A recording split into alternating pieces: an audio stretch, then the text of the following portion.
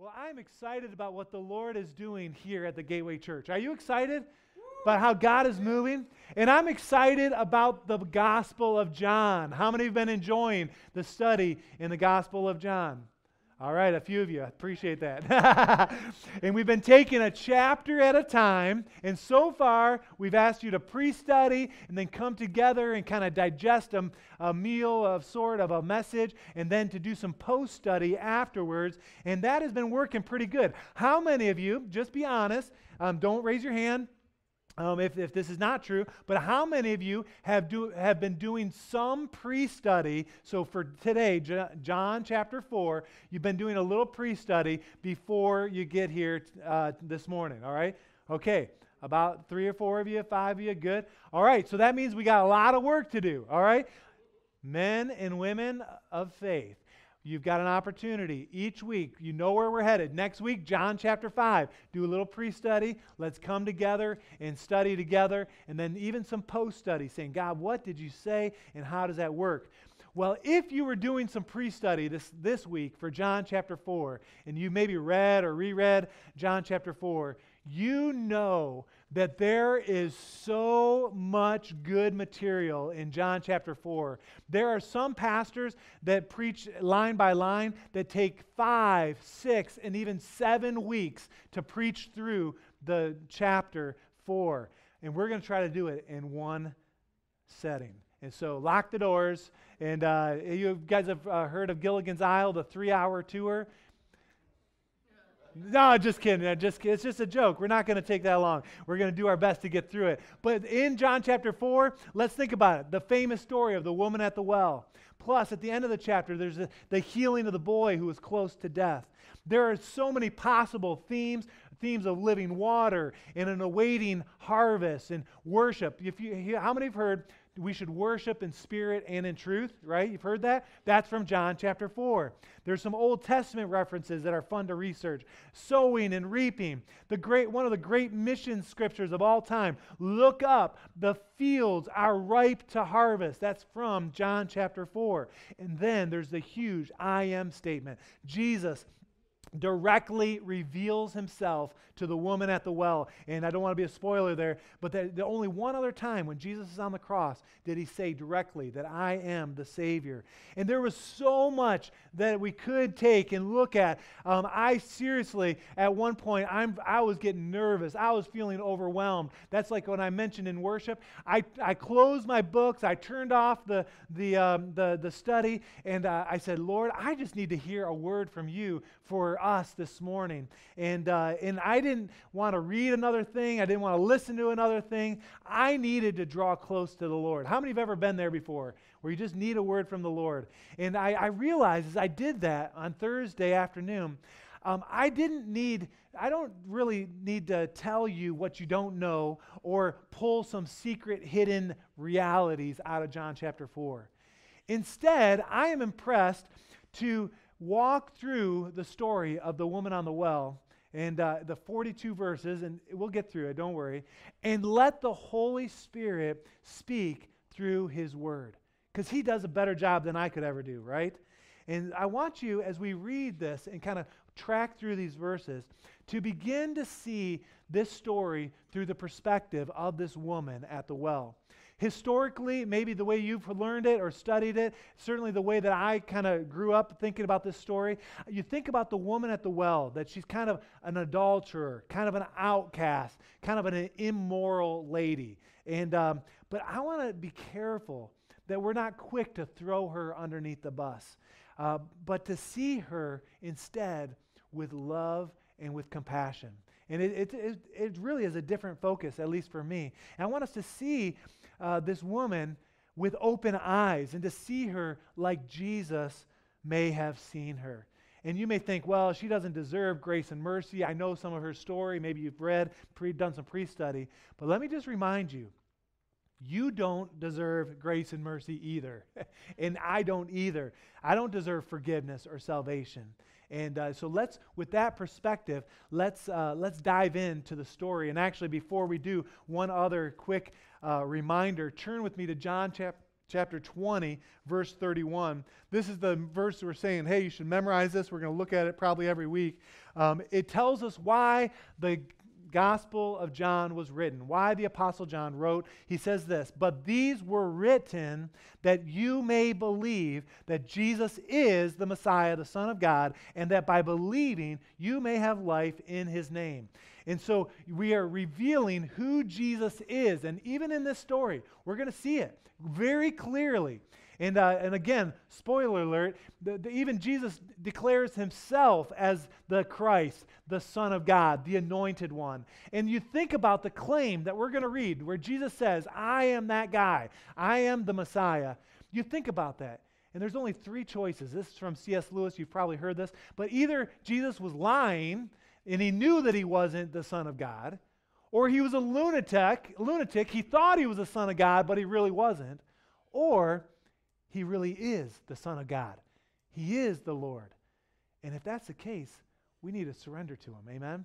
And so, Lord, help us. I, I just want to say He is. if you had any uh, any concern about that, He is Lord. He's Lord. And uh, with that, let's turn in our Bibles to John chapter four let's look at these great verses together.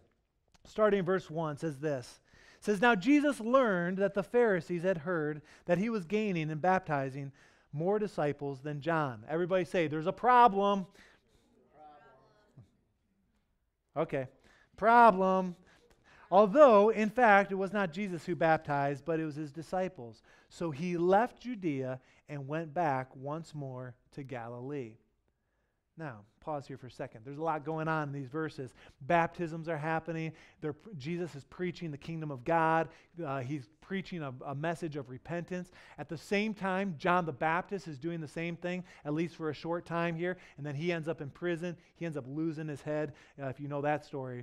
The problem here is not with John the Baptist. Remember, we talked about that in, at the end of chapter 3. It wasn't John the Baptist. The problem was with the religious leaders. And instead of facing the problem, Jesus, it says, he went from Judea and went back once more to Galilee. He, fl- he fled. He walked away from the problem that was at hand.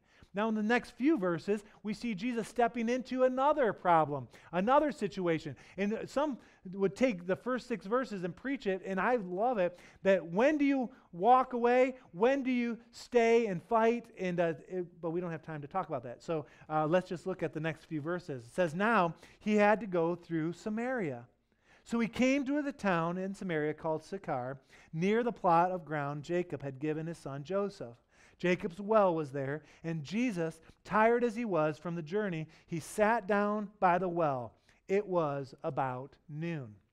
Now, what we see here is number one, I want you to see Jesus full of humanity. He's tired, he's thirsty, right? And again, there's a lot going on here, but it says he had to go through Samaria. Now, what do we know about Samaritans?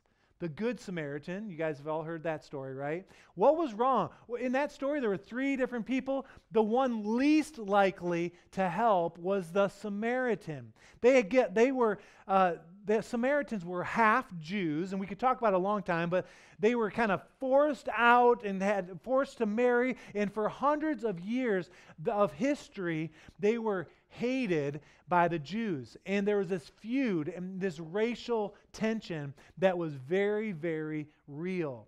The bottom line, and we won't take all the time to look at it, but G- the Jews could not stand the Samaritans, and the Samaritans could not stand the Jews.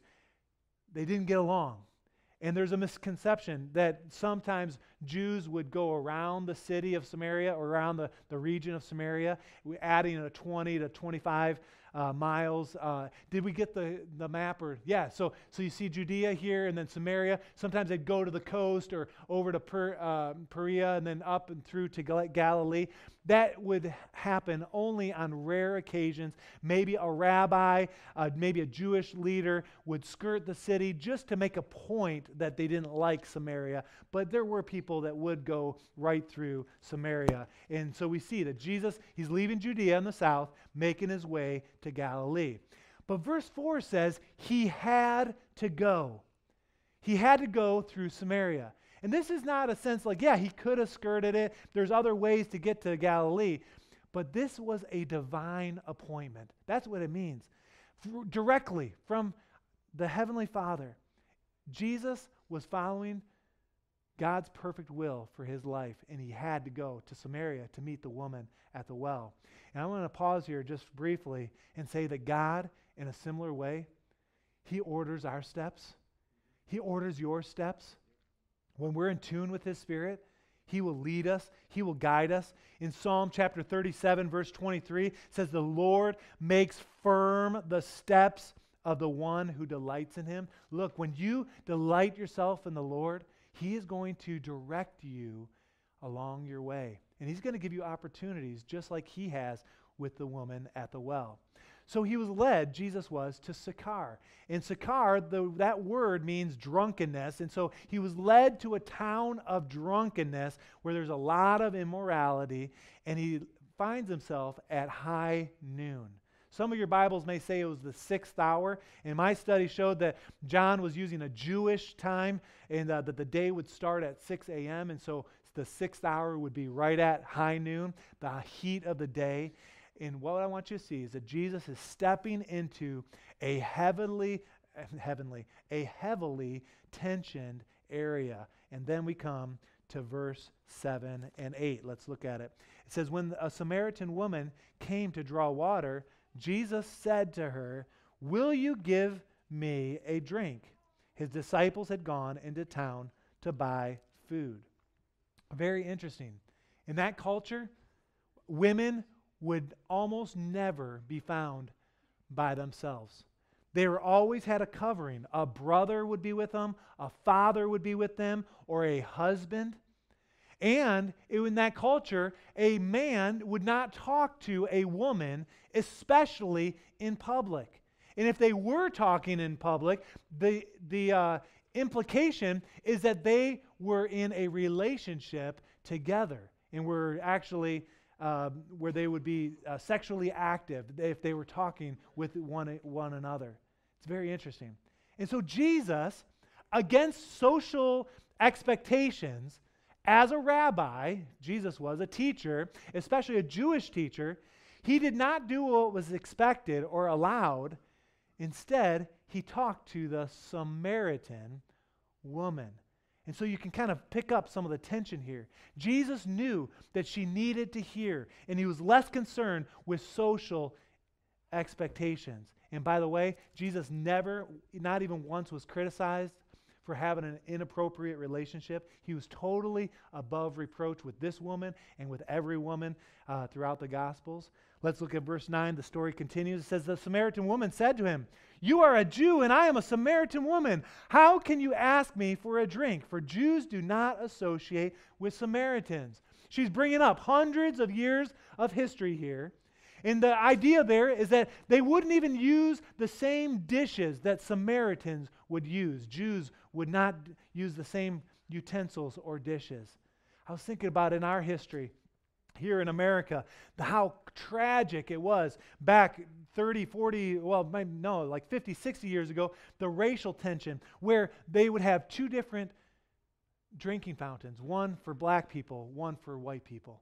And they wouldn't allow the same. That same sort of tension is the tension that should be felt when we read these verses. And so the woman, she would have been stunned that Jesus would have addressed her out in public and even talking. And that's why she says, Ma'am, uh, you asked me for a drink? And let's look at verse 10. Jesus answered her, If you knew the gift of God and who it was that asked you for a drink, you would have asked him, and he would have given you living water. There's two phrases here I want you to underline in your Bibles if you do that. Gift of God is one, the other is living water gift of God and living water.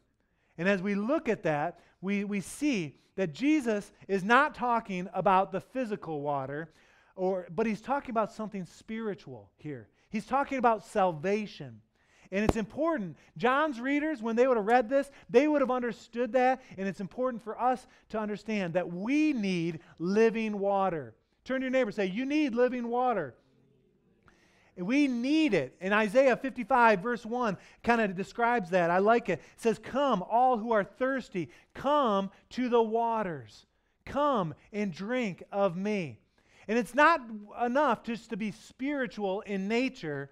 The woman actually had some spirituality but she was ignorant. And sometimes in our culture, we may think, oh, well, if we go to church or if we do give or we do serve, that then we are in right relationship. No, we're only in right relationship when we surrender and we get the gift of God, which is eternal life, when we accept Jesus as our personal Savior. Let's look at verse 11. She says, Sir, you have nothing to draw with, and the well is deep. Where can I get this living water? She's talking about the physical water. Are you greater than our father Jacob, who gave the well and drank from it himself, and did also his sons and his livestock? We see this here. She doesn't understand yet what Jesus is talking about. She's probably a little sarcastic in that moment. But then, verse 13, Jesus answered, Everyone who drinks of this water will be thirsty again. He slows down and he comes back to the physical, meets her where she's thinking, so he talks about the physical, but then he moves to the spiritual. But whoever drinks the water I give them will never thirst. Indeed, the water I give them will become in them a spring of water welling up to eternal life. And so he takes the natural, he makes it spiritual, and kind of brings it to light. And I love in that verse it says, whoever, that there's no one out of reach from God's mercy, from God's salvation. She needed a spiritual transformation. She didn't know it. Jesus is pursuing her. And then things start to shift. Let's look at verse 15. Verse 15 says, The woman said to him, Sir, give me this water. And I believe she understands that something is different than just physical water at this point. She says, Give me this water, this living water, so that I won't get thirsty and have to keep coming here to draw water. And I would say that she wouldn't have to keep coming at noon to draw water. Let me explain. We don't know this for certain, but we most likely she had a somewhat of a bad reputation. She had, we're going to find out momentarily. She had five husbands, so she, it could have been that she was an adulterer. We don't know. Some consider her a scarlet woman. Uh, but for sure, if she's coming at noon, a time when you don't draw water, she was avoiding confrontation and the stigma of the reality of her life. She was avoiding the scorn of other women that would gather water in the morning or in the evening hours. And so she was avoiding that.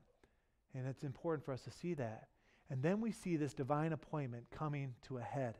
And I love this because when there are divine appointments, even in our own lives, when God uses us to reach through, Often there's insight, a word of knowledge, a word of wisdom that we become we get to know what we don't know, so to speak, and we don't even know where it came from, but all of a sudden you say something that was a nugget of truth that really kind of breaks the ice and helps soften someone's heart. Maybe you've been there. Let's look at verse 16. So things are starting to move here. God Jesus says uh, he says go go call your husband and come back. In verse 17 she replies, I have no husband. Jesus said to her, You are right when you say you have no husband. But the fact is, you've had five husbands, and the man that you have is now is not your husband. What you have just said is quite true. So she doesn't lie outright, she just doesn't give the whole truth. My understanding, again, of, of uh, studying this in the past is that this woman was kind of a rotten egg, right? She's an adulterer, the prostitute type. Almost, I looked at her, and I, I need to repent of this, but uh, almost in a self righteous, like, I'm better than she was. And the reality is, I'm no better. I'm just like her in a lot of ways. But let me give you a different perspective of this woman that maybe you haven't considered before.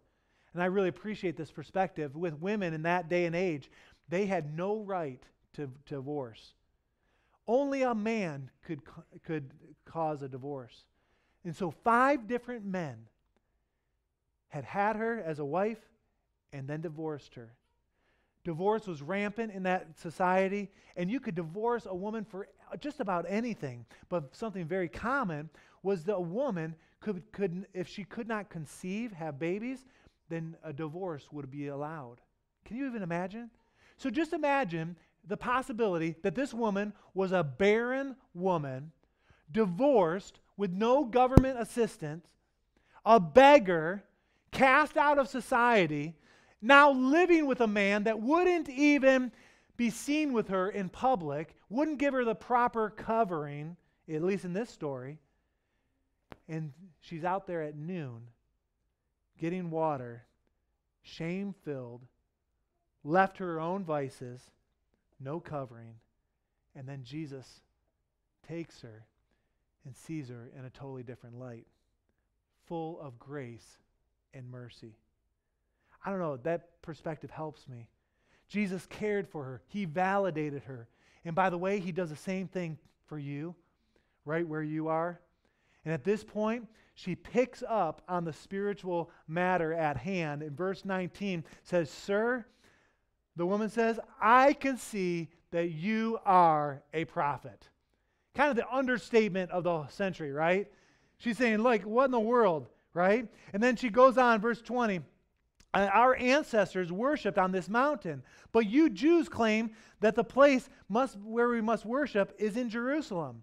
Does she want to be right with God? I believe that the Spirit of God is working inside of her, and she's confused. Would she have to go to a temple to worship, or go to a mountain to worship, or go back to Jerusalem to worship? And Jesus answers her in verse 21, says, Woman. And it's not a derogatory woman, it's the same sort of woman where Jesus at uh, with the where he talked to his mom that way. Woman, it was real uh, compassionate. Jesus replied, "Believe me, a time is coming when you will worship the Father neither on this mountain nor in Jerusalem." He's saying, "Look, there is a time where it doesn't matter where you are; you can worship anywhere." then he goes on to say, "You Samaritans worship what you do not know."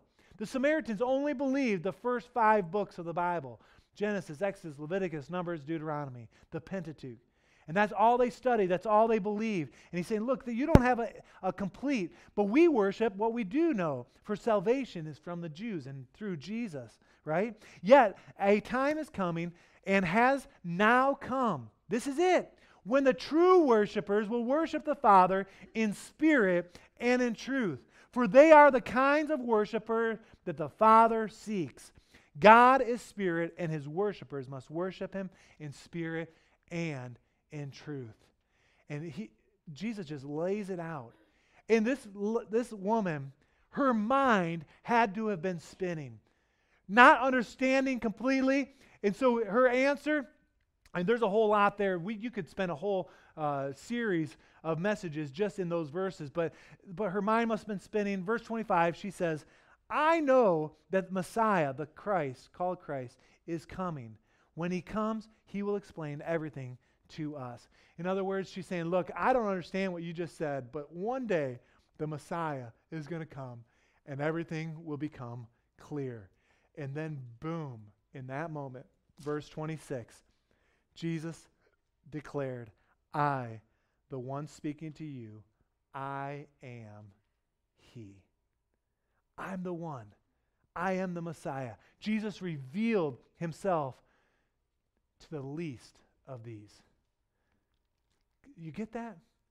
To the least of these. I mean, the, the bottom, just people would discard a woman like this. That's who Jesus decides to reveal himself to? Come on. Just look at the difference between chapter 3, uh, where Nicodemus is meets Jesus. And remember, we didn't study that, but I told you if you were looking at it to, to look at the obstacles that Nicodemus had to overcome to get to Jesus. The differences between Nicodemus and the Samaritan woman are just night and day. First, Nicodemus is a man, she's a woman. He's a Jew, she's a Samaritan. He comes at night and seeks out Jesus. She doesn't even know that who Jesus is, and, uh, and she's not looking for anything, and Jesus is pursuing her. He's a Pharisee, a scholar. She's ignorant. He's morally righteous. She's an outcast, has lots of baggage, kind of a shady background, right? He knows the Old Testament completely, memorized probably. She has an incomplete of uh, understanding of Scripture. He's married. You say, How do you know he's married? Well, he's part of the Sanhedrin. It was a requirement. And she's not married. And not only is she not married, she's had five husbands. And now she's living with another man. And then Jesus comes to her and reveals himself. They both find Jesus. Ugh moral, and the outcast. And I would say, and everyone in between can find Jesus as well. Verse 14 Whoever drinks the water I give, they will find life. People like Nicodemus, who are on the inside track, and the people like this woman who's on the outside, they can find Jesus, and Jesus can change their lives. He can change our lives. Amen. Verse 27, the story continues. Just then the disciples returned and were surprised to find him talking with the woman because it just didn't happen that way. You just wouldn't see it. And so they were surprised, but no one asked, What do you want? or Why are you talking with her? They just kind of took it and watched it. Certainly they were thinking it in their minds. Verse 28 Then leaving the, her water jar, the woman went back to town and said to the people, Come and see a man who told me everything I ever did. Could this be the Messiah? What I love in this picture is that she carried her burden to the well, the water jar, but she carried her shame, her uh, all of her past, and it's at noon and it's hot and just she's worn out, right?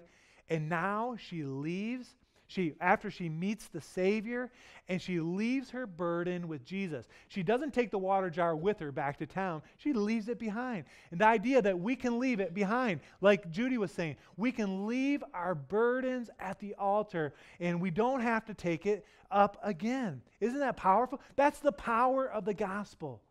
That's what Jesus offers every single one of us. And the response in verse 30 is that the people responded.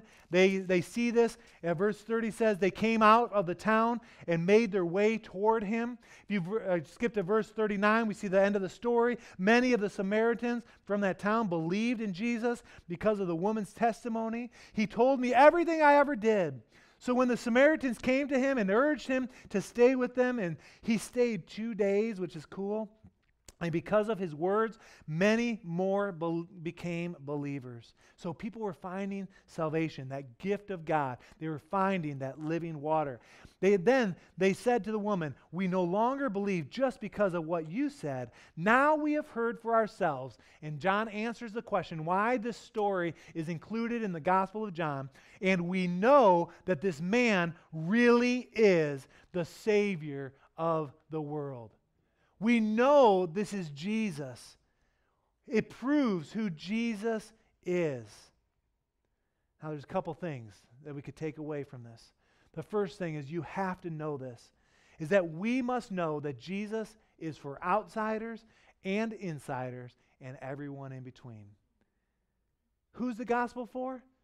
The gospel is for you. He, it's for you.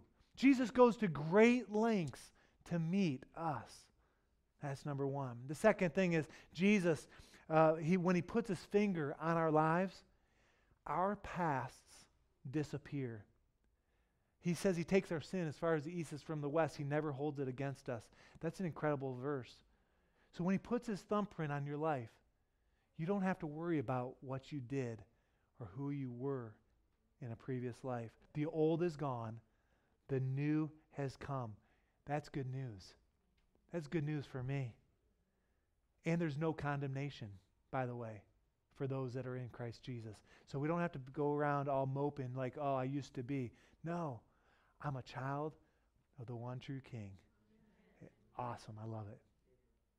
And the woman, she felt the love of Jesus, no question. And I just want to say no matter what you've done, no matter where you've been, know that God has been pursuing you.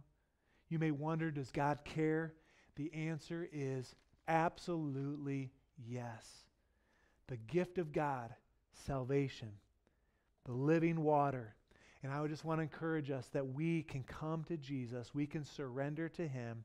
We can start today or get back on the bus today if you've uh, served the Lord at one time and need to come back to Him. You say, What is the gift of God? What is that living water? It's describing in this text salvation, which includes mercy and grace and pardon for sins. It includes justification, and it flows and it keeps on flowing and keeps on flowing in our lives. It reminds me of John chapter 1, verse 16, where we said that, that God or Jesus, He brings grace after grace, kind of wave after wave of grace. That's what Jesus does in our lives.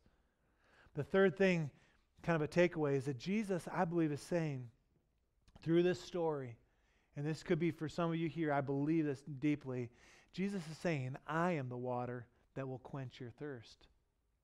It's not sports or school, it's not alcohol, it's not food or some relationship that's going to fill you up.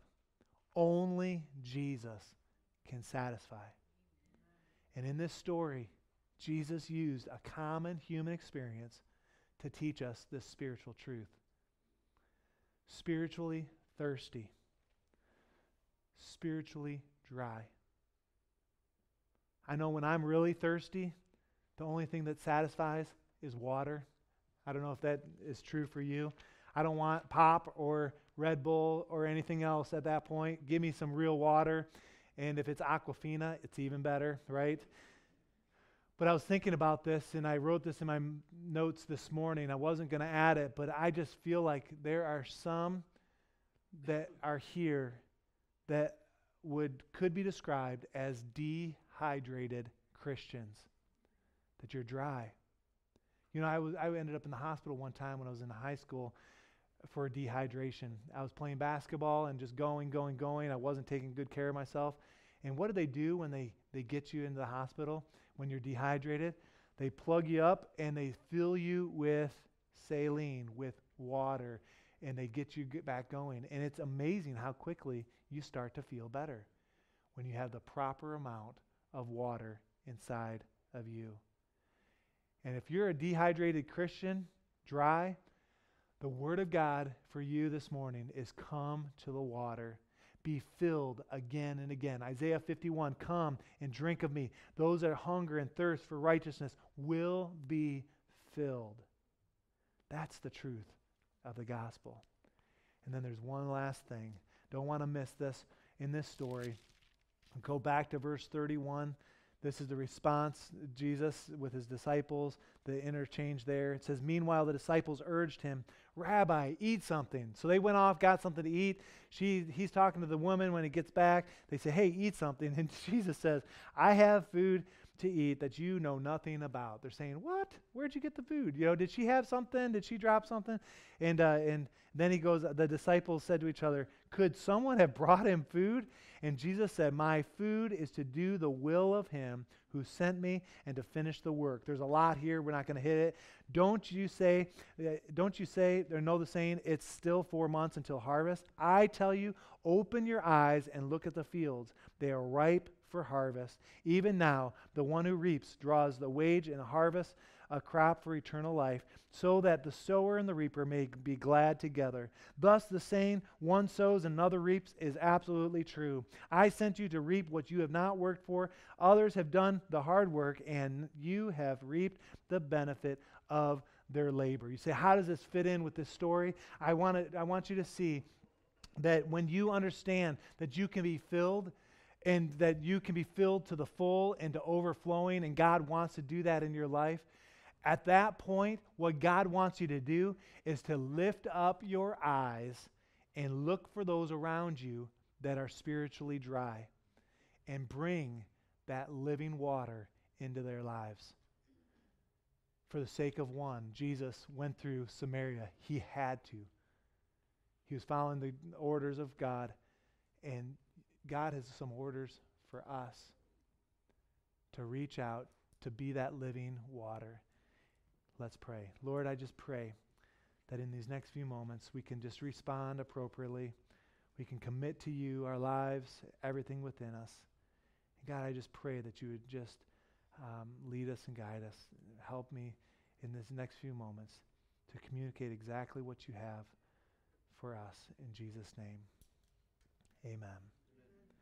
The first thing I want to do, and we won't take long here, is if you're here today and you do not know Jesus as your personal Savior, we want to offer you the gift of salvation. We want to offer you that living water that is that's is just priceless.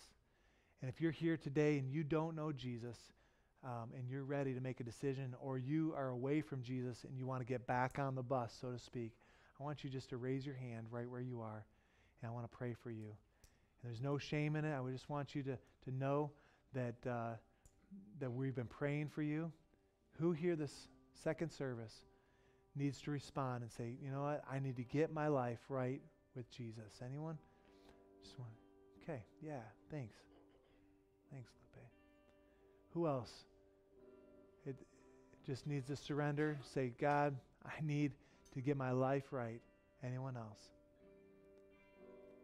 Hallelujah. For the sake of the one, we're, we're going to come back to this in just a second, but there's a, I just also want to just ask the question How many are here today? And if you are honest, you say, Man, I feel dry. I feel dehydrated spiritually. And there's no shame in this, but you're saying, Man, that's just where I am today. And I need the Lord to fill me up. Yeah, lots of hands. Same as first service. And the reality is, we need that. Who else? Just saying, Yep, that's me. I need a refreshing of the Holy Spirit in my life. God wants to provide that for each and every one of us. He does.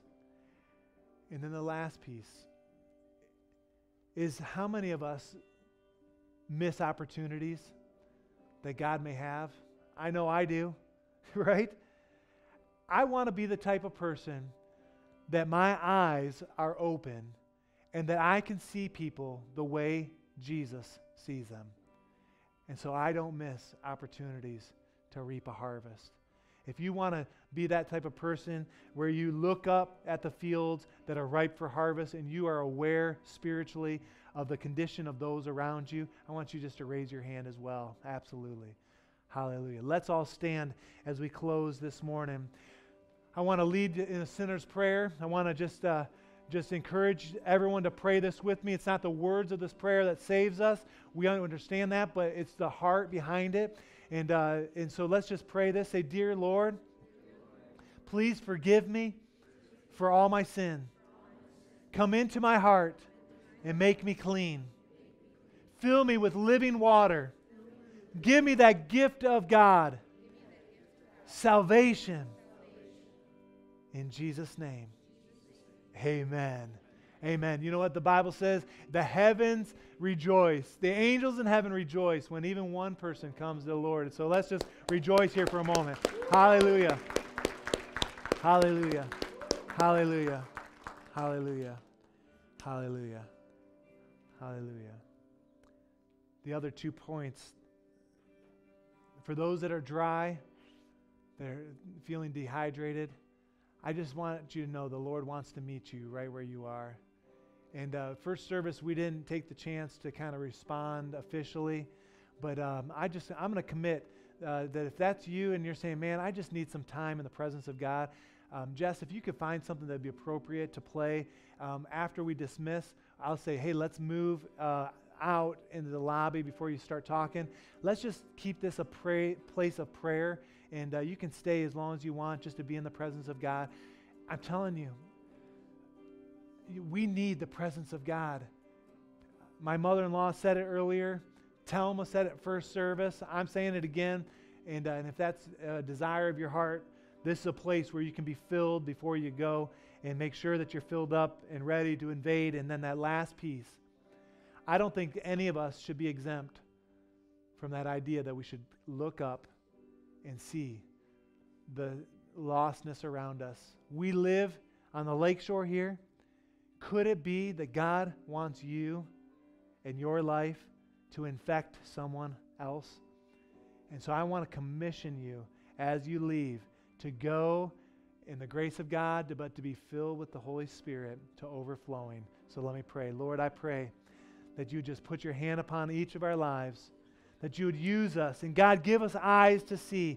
Lord, where we have missed it in the past, God, I pray that we will take opportunities to make a difference, to reach one more, to connect with our world, not just to be oblivious or to not care, but God, give us a passion and a burden to see the lost saved, just like we were. And God, I pray that salvation will be found as we look up at the fields that are ripe for harvest. And Lord, I pray that this would be a season of reaping for the Gateway Church, that we would see souls saved week in and week out for your glory, for your honor. We pray in Jesus' name. And so now, Lord, as we leave, I pray that you'd go before us, behind us, and all around us. In Jesus' name, amen. Amen.